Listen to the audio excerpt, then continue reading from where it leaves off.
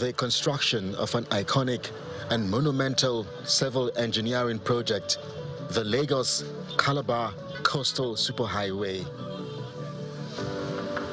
When completed, the 700 kilometer long coastal highway will enter the record books among iconic coastal routes like the Pacific Coastal Highway in the US and the Wild Atlantic Highway in Ireland.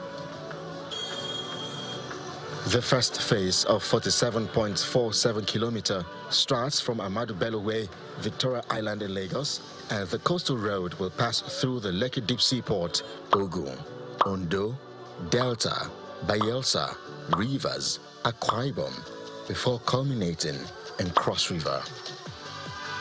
But that's not all. The superhighway, which is being built by Hitech construction company, has five lanes on each side of the dual carriageway and a train track in the middle.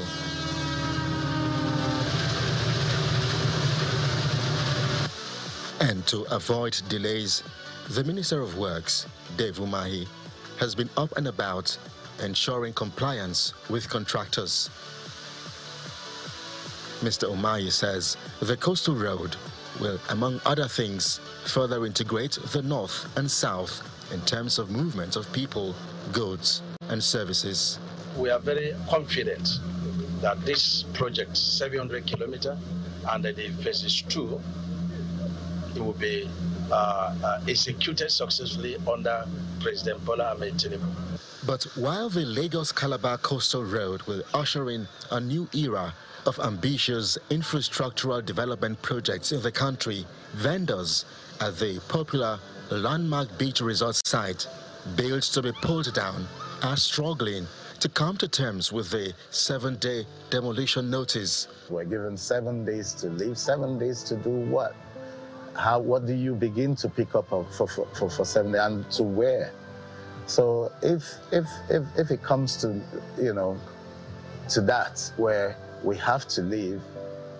I can't do anything. I'd pack up my suitcases, give up the flat, give up the business, and go back to the UK, which would be a shame because we're the ones who constantly sing the praises of this country, this place. We have really sprung to action.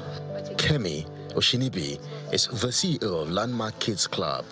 She tells me it's been terrifying the past one week.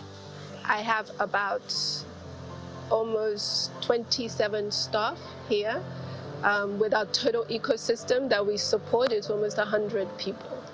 Um, and right now, everyone is feeling very uncertain. Everyone is feeling very scared. Um, and it's, it's really unfathomable right now. It's really, really, really upsetting. Very, very, very upsetting. But there is some sort of optimism from the CEO and founder of the Landmark Africa Group. Obviously, there's several conversations that are taking place. Um, I've had at all levels of governments, both state and federal. I've had incredibly positive feedback. Um, and some of the noises coming out of the government in terms of supporting businesses, supporting FDI, increasing tourism. There's both a commissioner for tourism and a minister for tourism for the first time in Nigeria at the same time. Tells you that there must be someone that's saying that we're serious about tourism here. Um, so the, I can't see how um, a collection of decisions will lead to the demolition of effectively the most impactful and largest tourist platform in West Africa. I'm standing a few meters away from the beach and the currents have been really strong, so I cannot go any further.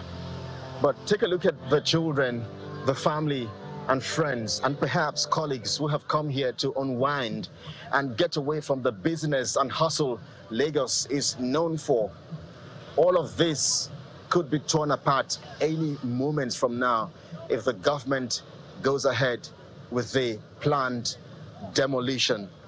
But for the over 3,000 staff who work here and earn a living from this, their future hangs in the balance with the proposed plant demolition to make way for the Lagos Calabar Coastal Road. From the landmark beach area here in Lagos, Nigeria, Kelly Egiga, Channels Television News.